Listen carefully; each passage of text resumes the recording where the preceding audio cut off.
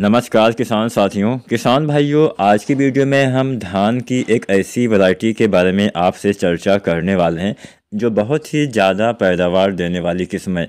ये किस्म अभी एकदम नई किस्म है। कम दिन में तैयार होने वाली किस्म है। एक अर्धबौनी वैरायटी है, अर्थात इसकी हाइट भी ज़्यादा नहीं होती है। कम समय में ये पक्के तैयार भी हो जाती है और उत्पादन भी काफ़ी अच्छा ये आपको देने वाली है। तो आज की वीडियो में हम एकदम पूरी जानकारी आपको देने वाले हैं। वैरायटी का नाम क्या है? कितने दिन में तैयार हो जाती है? कहाँ कहाँ पे आप लगा सकते हैं? कौन कौन सी इसमें विशेषताएँ पाई जाती हैं? तो आज की ये पूरी वीडियो देखिएगा। कोई भी सवाल हो कोई भी सुझाव हो तो आप कमेंट भी कर सकते हैं। चलिए वीडियो स्टार्ट करते हैं। तो सबसे पहले हम जानते हैं, इस वैरायटी को कहाँ पे बनाया गया है, कहाँ पे विकसित किया गया है? तो भारतीय कृषि अनुसंधान संस्थान दिल्ली के वैज्ञानिकों के द्वारा इस किस्म को तैयार किया गया है। इसका नाम भी मैं आपको बता देता हूँ। इस वैरायटी का नाम है पूसा बीस नब्बे। एकदम नई वैरायटी है और बहुत ही बेहतरीन वैरायटी है, खासकर पंजाब, हरियाणा के किसान साथियों के लिए। यह वैरायटी बहुत ही अच्छी साबित होने वाली है। अच्छी साबित क्यों होने वाली है? कौन कौन सी इसमें खासियत कौन कौन सी विशेषता पाई जाती है? तो पूरा वीडियो देखिएगा।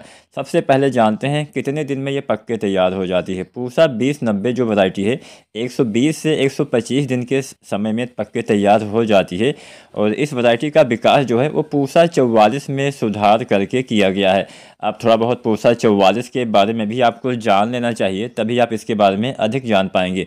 पूसा चौवालीस पंजाब और हरियाणा में सबसे ज़्यादा धान की बुआई, रोपाई की जाने वाली वैरायटी थी, लेकिन इसमें दो समस्याएँ थीं। सबसे बड़ी समस्या, इसका कुछ खासियत भी था, पूसा चौवालीस सबसे ज़्यादा पैदावार के लिए भी जानी जाती है, और इसमें अगर हम कुछ कमियों के बारे में जानें तो कमी यही थी कि ये काफ़ी लंबे समय में तैयार होती थी। पूसा चौवालीस एक से एक सौ साठ दिन में पक्के तैयार होती थी। जब कोई वैरायटियाँ लंबे समय में पक्के तैयार होती हैं तो उसमें दो तीन चीज़ें हमें ज़्यादा देनी होती है। एक तो हमें उसमें ज़्यादा मात्रा में सिंचाई, यानी पानी करना पड़ता था। पानी की खपत भी ज़्यादा होती थी। दूसरा, खादों का भी आपको ज़्यादा इस्तेमाल करना पड़ेगा। तीसरा नुकसान ये होता था कि जब कोई वैरायटी लंबी अवधि में पक्के तैयार होती है तो जो हम अगली फ़सल लेने वाले हैं, जैसे जहाँ पे धान की कटाई के बाद गेहूँ की बुआई की जाती है तो वहाँ पर गेहूँ की बुआई करने का बहुत कम समय बच पाता था। मान के चलिए, एक सप्ताह के आसपास ही समय मिल पाता था। अब एक सप्ताह में ही किसान साथियों को कटाई करनी होती थी, पराली की व्यवस्था करनी होती थी, खेत की जुताई करनी होती थी, बुआई करनी होती थी तो कम समय में तैयार होने से बहुत सारी मुसीबतें होती थी और इसके साथ साथ पानी की भी काफ़ी ज़्यादा खपत होती थी। पूसा चौवालीस ज़्यादा समय में जब तैयार होती थी तो अक्सर पंजाब, हरियाणा के किसान साथी, इसकी जो पराली होती है, उसका उचित प्रबंधन न होने के कारण इसकी पराली को जला देते थे। जब पराली को जलाते हैं तो वायु प्रदूषण फैलता है। दिल्ली, एनसीआर के आसपास पूरा एकदम कोहरा धुंध टाइप का छा जाता था। तो इन्हीं सब बातों को ध्यान में रखिए। इसके साथ साथ चौवालीस जो है, पूसा चौवालीस, ये पानी की भी काफ़ी ज़्यादा खपत करती है और पंजाब में इसको तो बैन भी कर दिया गया है। पंजाब राज्य में पूसा चौवालीस को पूरी तरह से प्रतिबंधित कर दिया गया है। वहाँ पे आप इसकी रोपाई नहीं कर सकते हैं क्योंकि पानी की ज़्यादा खपत होने से जो हमारा ज़मीन का जल स्तर है जिसको हम वाटर लेवल बोलते हैं, वो काफ़ी नीचे चला गया है। इसी के कारण इस वैरायटी को वहाँ पे लगाने के लिए बैन कर दिया गया है। अब हम आते हैं अपनी आज वाली वैरायटी पूसा बीस नब्बे के बारे में।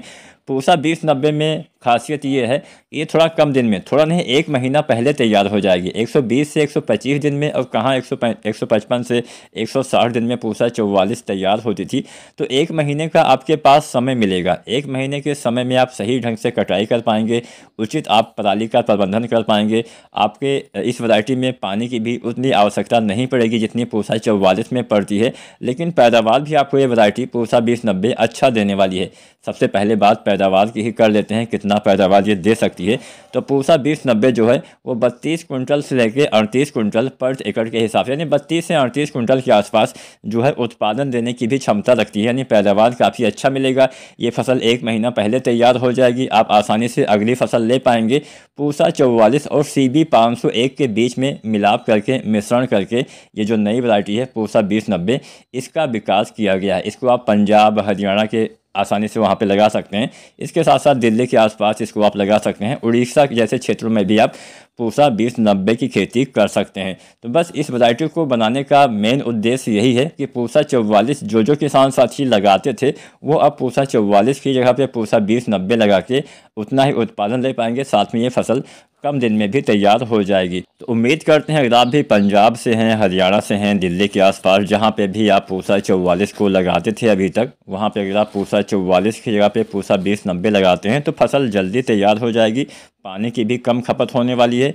इसके साथ साथ अच्छा उत्पादन भी आपको बत्तीस से अड़तीस कुंटल पैदावार भी आपको ये देने की क्षमता रखती है। वीडियो अगर आज की अच्छी लगी हो तो लाइक, शेयर करें और चैनल को सब्सक्राइब नहीं किया है तो एसआरजे खेती चैनल को सब्सक्राइब करें। धन्यवाद।